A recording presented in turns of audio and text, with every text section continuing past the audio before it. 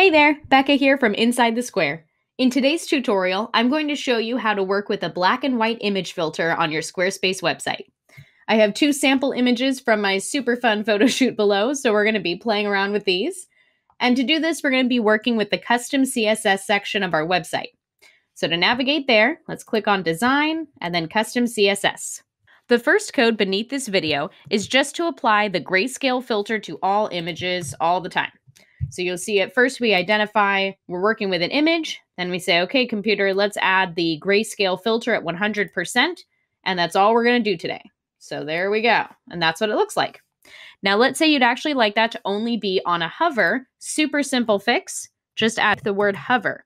So now we're saying, all right, computer, with all of these images, only when I hover on them, apply the grayscale filter and watch what happens. You ready? What? Now it's a black and white image. Now, if you'd like that transition to be a little bit smoother, there is a way for us to do that. What we need to do is add the transition of the filter and give it a slightly different timestamp here. So this code is also beneath the video. I'm going to paste it at the top. I'm going to say, hey, computer, with this image block, I want there to be a transition effect here. When you apply the filter, wait half a second and ease it in.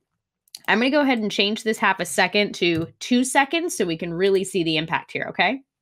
So when I click on it, now it takes a full two seconds to go black and white. And when I unhover over it, now we're back to full color. So normally I work with about a half a second at a time um, just to make it a little bit smoother and not so sudden. So definitely play around with that if you'd like to. That's the transition filter. So those are the only two codes I had to cover today, just the image filter for grayscale. Um, you can also play around with this percentage to make it not as dramatic. Um, I'll show you on this other image too, just slightly, slightly toned down. but when I use this to make images black and white, I stick with 100%. Alrighty, both these codes are beneath the video, and that's it for this super quick tutorial. Thanks for watching, and have fun with your Squarespace website. If you liked this tutorial, be sure to subscribe so you can see a new one every week.